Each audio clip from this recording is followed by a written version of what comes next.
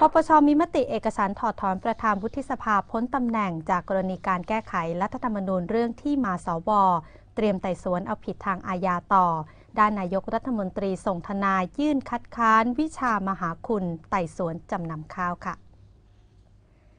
คณะกรรมการป้องกันและปราบปรามการทุจริตแห่งชาติ หรือปปช มีมติเอกฉันชี้มูลความผิด และเป็นมูลเหตุให้ถอดถอนนายนิคม ไวยรัชพานิช ประธานวุฒิสภาออกจากตำแหน่ง ตามที่พักประชาธิปัตย์เป็นผู้ร้อง จากกรณีการแก้ไขรัฐธรรมนูญประเด็นที่มาสว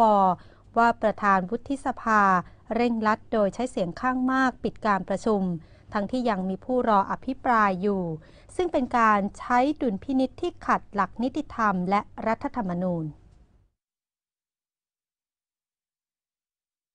ถูกร้องที่หนึ่งและผู้ถูกร้องที่สอง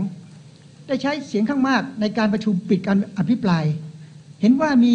เห็นว่าแม้การอภิปราย เห็นว่าแม้การปิดการอภิปรายจะเป็นดุลพินิษของประธานและแม้เสียงข้างมาก มีสิทธิ์ที่จะลงมติให้ปิดการอภิปรายได้ก็ตาม แต่การใช้ดุลพินิษและการใช้เสียงข้างมากดังกล่าว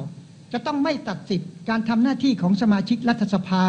หรือละเลยไม่ฟังความเห็นของฝ่ายข้างน้อย การรวบรัดปิด การอภิปรายและปิดการประชุม เพื่อให้มีการลงคะแนนเสียง จึงเป็นการใช้อำนาจไปในทางมิไม่ชอบ เพื่อประโยชน์ให้แก่ฝ่ายข้างมาก โดยไม่เป็นธรรม อันเป็นการขัดต่อหลักนิติธรรมหลังปปชชี้มูลความผิดนายนิคมจะต้องหยุดปฏิบัติหน้าที่โดยทันที และปปชเตรียมส่งความเห็นไปยังวุฒิสภา เพื่อดำเนินการถอดถอนตามรัฐธรรมนูญ มาตรา 273 และ 274 ต่อไป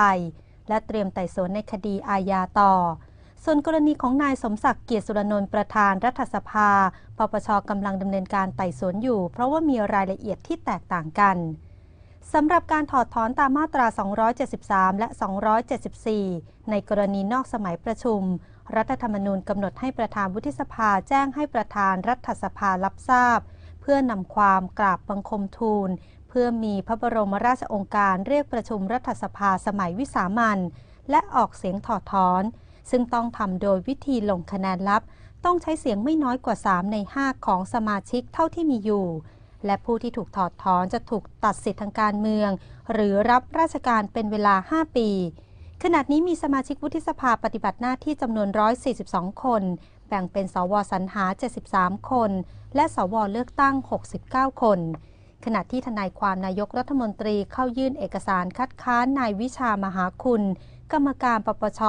ไต่สวนข้อเท็จจริงกรณีจำนำข้าวด้วยเหตุผลความไม่เป็นกลาง พร้อมทวงถามความแน่ชัด เรื่องเอกสารชี้แจงข้อกล่าวหาที่มีเพียง 49 แผ่นว่าจะมีเพิ่มเติมหรือไม่นะคะ